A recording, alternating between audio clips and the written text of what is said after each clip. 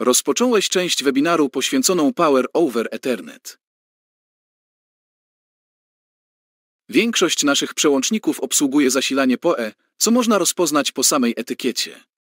W wersji podstawowej jest to PoE do 30 W zgodnie ze standardem IEEE 802.3AT.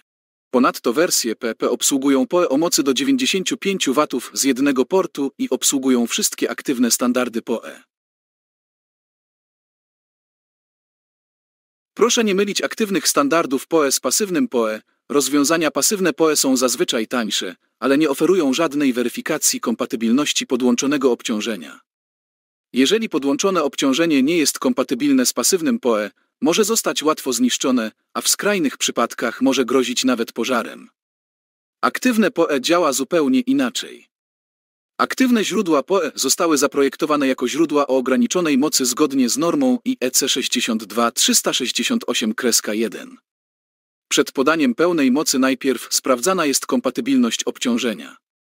Jednocześnie wbudowane bezpieczniki sprzętowe i algorytmy zabezpieczeń w aktywnych źródłach PoE w sposób ciągły monitorują pobór i zapewniają bezpieczne odłączenie obciążenia w przypadku awarii. Przedstawiamy dwie wartości dla przełączników PoE, maksymalna moc dostarczana z jednego portu oraz maksymalna moc dostarczana przez wszystkie porty.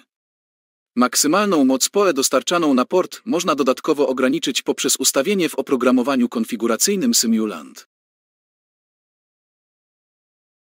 Może się to przydać przykładowo w zabezpieczeniu systemu przed przeciążeniem zasilacza w przypadku awarii kamery PoE.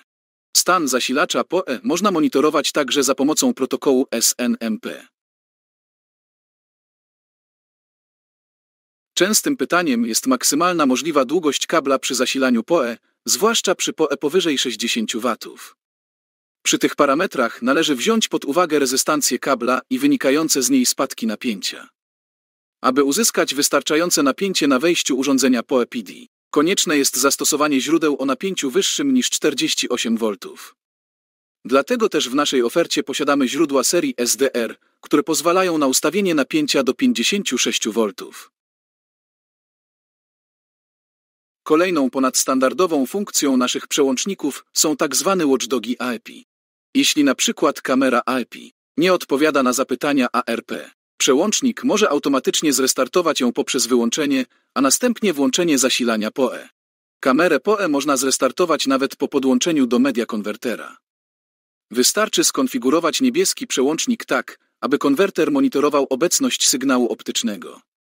W przełączniku LAN Ring można skonfigurować IP Watchdog monitorujący kamerę IP, podłączoną do media konwertera.